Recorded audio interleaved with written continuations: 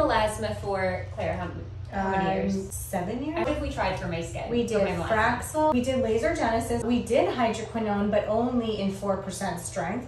We did retinoid. The entire time I've been a patient That's of Dr. true. Claire, and this is the only thing we could not figure out. And then somebody on TikTok told me I needed to try Musely, and I ordered it. And she asked me about it, and I said, well, let me look into it. And when I looked online, what I found is it's 12% hydroquinone, which is really what's working for you. And the 12% is actually very difficult to come by. It can be pricey, but Musely's is very reasonable. And she's really responded to the 12%, which speaks to the fact that some patients just need a higher percentage. Since Jillian told me about the product, I've told a lot of patients to go ahead online to Muesli, especially for anyone who maybe hasn't done as well with cysteamine, hydroquinone 4%, and some other alternatives. Started seeing results in 30 days. You have even better ones that you've sent me.